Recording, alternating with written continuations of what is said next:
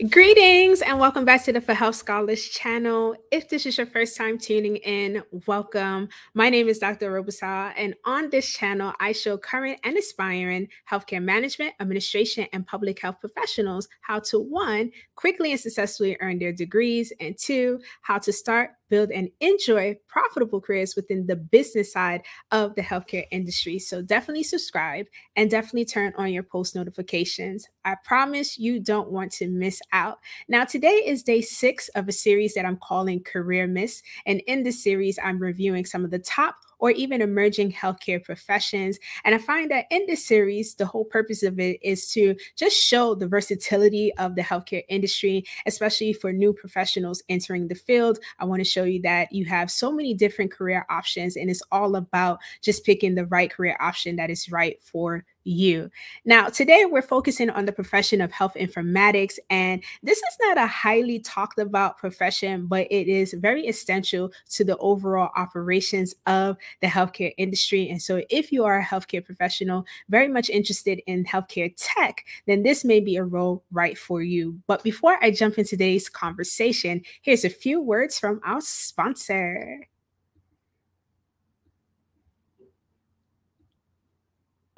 Greetings, Health Scholars. Today's episode is sponsored by my course, which is titled From Healthcare Graduate to Hired. Are you a professional looking to work in the healthcare industry? Or are you a current healthcare professional looking to pivot into a different sector of the healthcare industry? If you answered yes to one of the two questions I just asked, guess what? This course is right for you. In the For Healthcare Graduate to Hire course, it is a 90 minute video program. So, yes, I kept it short and sweet, but I've loaded it with a lot of information, including give you a detailed strategy as well as actionable steps for implementation that will help you go from healthcare graduate to job seeker to hired. In addition, I'm sharing my experiences of working in various healthcare positions, as well as the strategies I have given over 100 plus professionals that have helped them land their first, next, or even dream healthcare job. Now, what can you expect inside of the course? We're going to talk about everything from preparing your job hunting strategy down to finding the right healthcare job for you. In addition, I'm giving away a few course bonuses, which includes access to an exclusive recruiter directory. So, we're giving you the name and contact information to healthcare recruiters who you can work with to help land your next healthcare job. In addition, you're going to get access to the For Health Scholars job board as well as a live Q&A session with me Dr. Orobosa to answer any questions you may have. So I hope this sounds good to you. And if you are a job seeker who's been applying to healthcare jobs within the last six months without any response, guess what? This course is right for you. To sign up, you can access the link in the description box. And if you have questions, you can also contact me at forhealthscholars at gmail.com. I hope this is helpful and I look forward to seeing you in the course.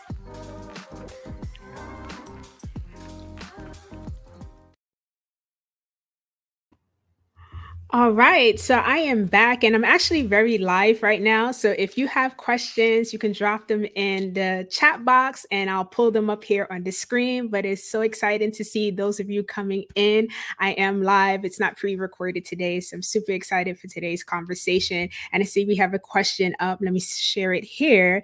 It is from Nurse Lita. She said, I was just thinking about going into this profession and now you're doing the video on it. Well, Nurse Lita, well, welcome to the channel. I definitely feel it's a profession that not many people talk about, but I'm going to talk about it in as much detail as I can tonight. But welcome to the channel, and I hope that it's helpful for you. All right. So, as I stated, today's conversation is all about the topic of health informatics. Particularly, we're going to talk about a health informatics specialist. And I think this is a career option that is really viable for any professional in the healthcare space. Now, do note that technology has really shaped the way that we conduct business in the healthcare industry. Just take a moment to think about it. For those of you who are in healthcare, you know that we use technology for pretty much all parts of operations. We use EHR EHR systems to manage our patient documentation. We use um, practice management softwares for the billing aspect of our practice. And we even use technology to solve some of the most complex healthcare problems that we see in the industry to date. So I really think that technology has afforded for many people to access the healthcare industry more easily, and it has also helped the healthcare industry become more efficient. Now, informatics. So in this role or in this industry, it is the section is called informatics. And under the informatics umbrella, you have health informatics, you have clinical informatics, you have pharmacy informatics. So I just want to make that distinction very clear. Now, in this case, in today's video, we're talking about health informatics. And health informatics is really a combination of computer science, um, information management, engineering, and healthcare.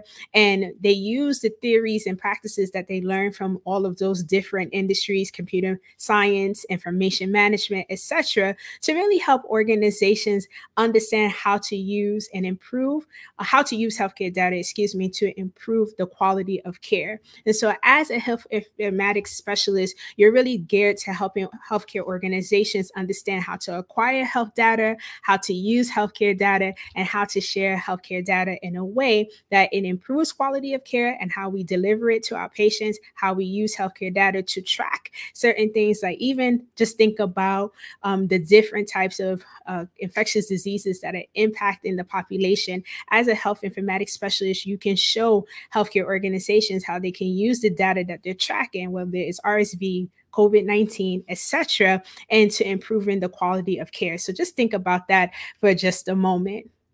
Now, as a health informatics specialist, you have several focus areas, and a lot of it requires distinct collaboration and communication with different departments within a given healthcare system.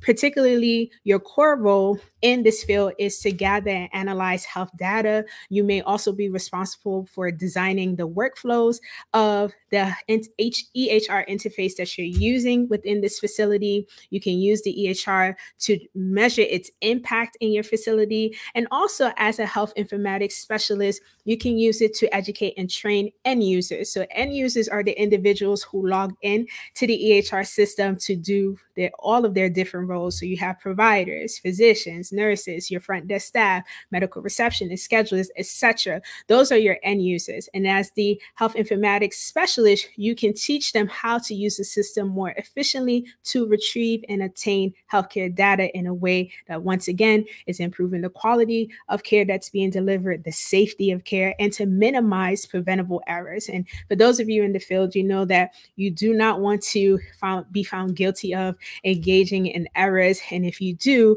you hope those errors can be minimized as much as possible. Of course, then managing tech systems. And a lot of your work is also about engaging with software developers to design a EHR system that it fits your practice and fits your organization. So if you go from clinic to clinic, hospital to hospital, you may find that their EHR systems may come all from Epic, but they're designed differently. And those designs is really gain or really used to help an organization in its operations and how it conducts business. So, hospital A may have their EHR system look one way, and hospital B will have it a different way because of how they conduct business. So, just keep those things in mind.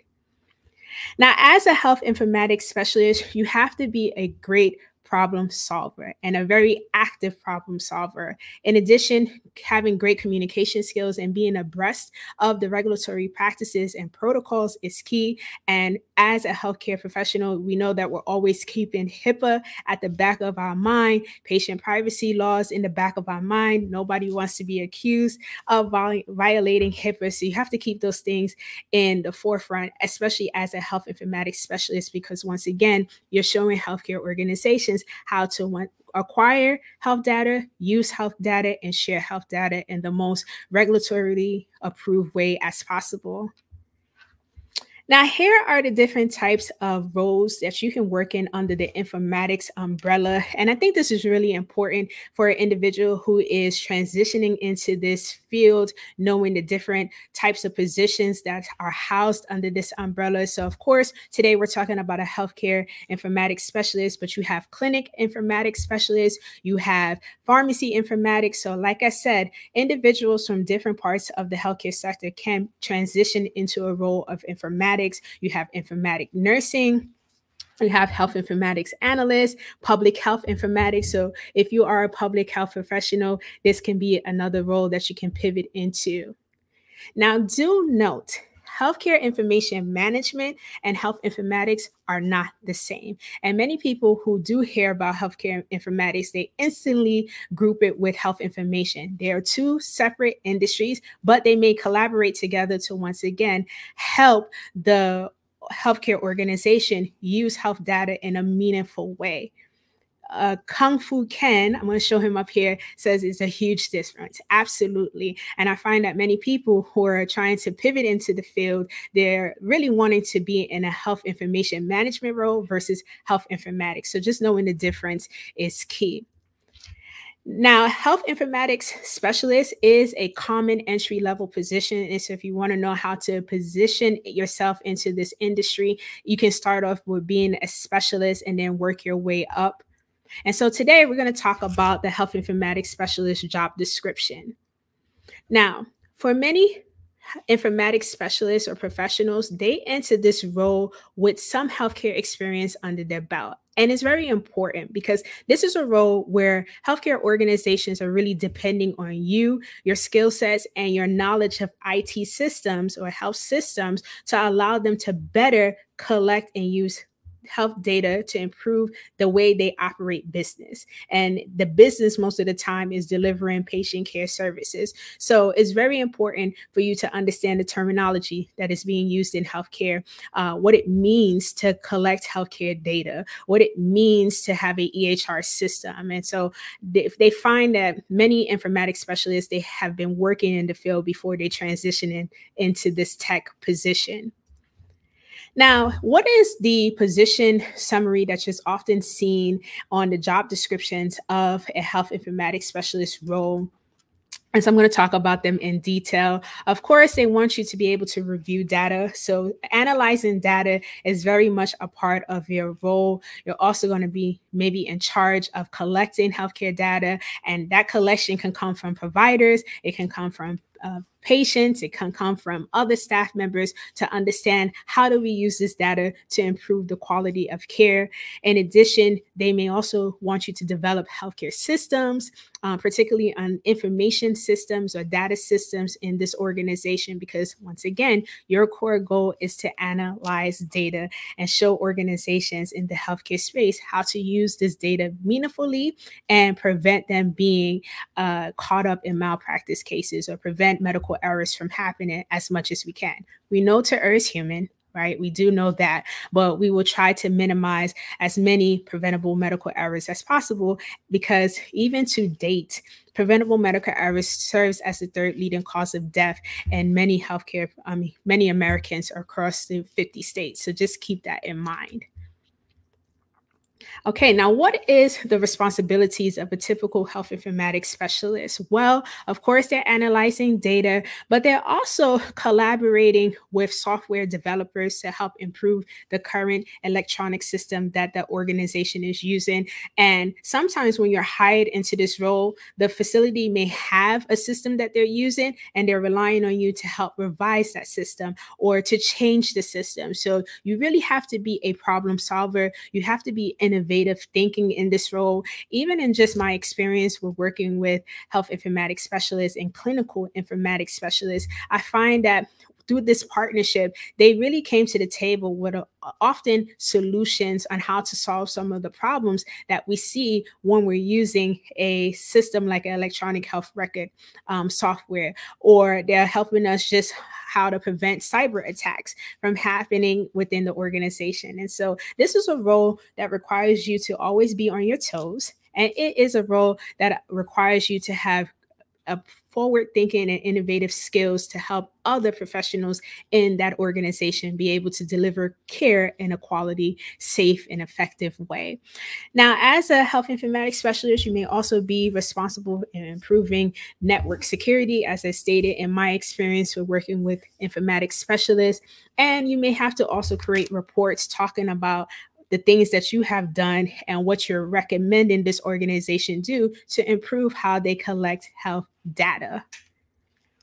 Now, some of the common skills that you need to have as a health informatics specialist includes programming knowledge. So, if you are a person who's interested in technology and IT, but you want to be in the healthcare space, then this role may be right for you. Knowledge of healthcare digital systems, knowledge of health data systems, be having analytical skills, and of course, communication and collaboration creation skills is key because this is a role, although it's behind the scenes, many people are, many of your patients are not coming into the clinic asking for a health information or a health informatics specialist, but the role is very instrumental to the overall operations of healthcare since we have transitioned into this mandate of have using EHR systems. So you can check out the HITECH Act. It mandated that all organizations under the healthcare space use uh, EHR system to manage their overall operations. So this keeps this job in demand. Now, the educational requirements, this is very important. So, from the entry level, you can come in with an associate's degree, but honestly, many organizations want you to have a minimum of a bachelor's degree. Particularly, you can get a bachelor's degree in information management, or if you're working in a different field. So, if you're working in healthcare management, um, administration, public health, but now you're looking to transition into IT, you can also use your um, formalized education to support you in meeting this criteria. If you get a master's in this field, it's usually used for individuals who are wanting to be in the management side of informatics. And so you would use your master's degree to allow you to be uh, lead the informatics department or whatever sector that you're in. Being an informatics analyst, you also may need a master's. Now, informatics is open to many professionals. And so if you are a professional who has like medical assistant skills under your belt and you're like, I want to do a nursing degree, but I may be into tech, then you can go into nursing informatics. But in order to work under that nursing informatics role, you have to have a nursing degree. Same thing for pharmacists. If you want to be in the informatics space, they do work with pharmacies, and pharmacies heavily use informatics specialists because because once again, it's all about analyzing how data is collected in the healthcare space. You just have to make sure that you have the pharmacy degree to hold that position. But for those of you who do not have a nursing or pharmacy degree, public health professional, you can have a public health degree that helps you and allows you to meet that educational requirement for working as a public health informatics specialist. Now, the salary. Let's talk about the money because for many individuals, it's like, okay, yes, I want to enter this field, but what is the salary tiers? And so, on average, we find that health informatics specialists at this entry level, it is a high paying profession and high paying job. So, on average, salary is about $86,000. If you have less than a year of experience, you can make about $65,000. But if you watch my video on salary negotiations and you conduct a little little bit of research on just salary tiers in this field and you look at your experiences, your interests, and how to negotiate effectively once you get past the interviewing stage and been offered the job, you can really negotiate to earn top dollar. Like I said, this is a high earning uh, role. And so the average is 86,000. And noting that for many individuals who get into the informatics space, they already have some healthcare experience under their belt. So use all of those things to your advantage to be able to negotiate to the salary that you desire. But from I got this information from payscale.com. They said if you have about 10 plus years of experience in the field, you can make well into the six figures. So once again, this is a tech role, it's a high earning tech role. And if you have at least one year of experience in the field under the healthcare umbrella and you meet the some of the other educational requirements and experience requirements and good at managing data, then this role can be really good for you.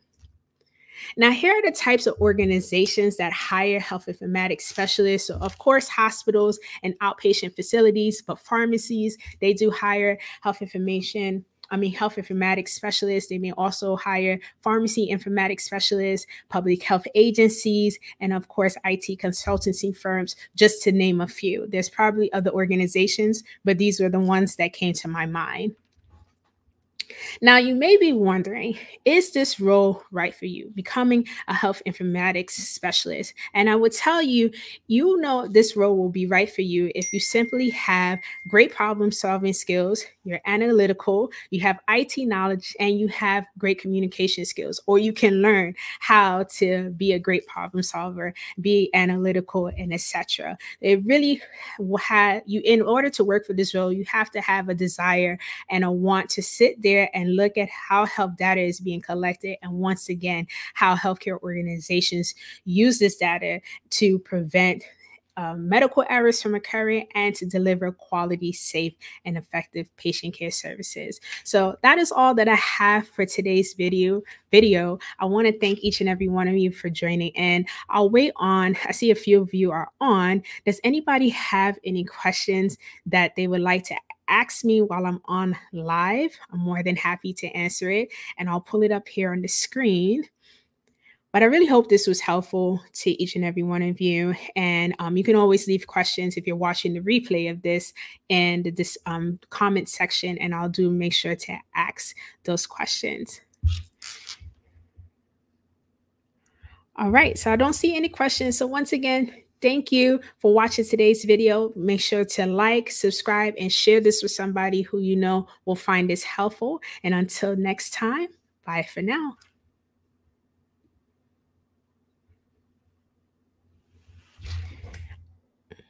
Oh. Okay, I'm back real quick. So I see someone asked a question. I was getting ready to exit out.